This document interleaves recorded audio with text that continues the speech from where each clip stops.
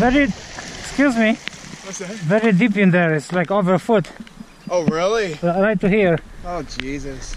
I had to turn back because, you know, like, you won't make it. If you don't want to get really wet, then you won't make it. Uh, it's on my way home. Only choice I It's, have. it's like this. Oh, Jesus, I'm in trouble. It's right here.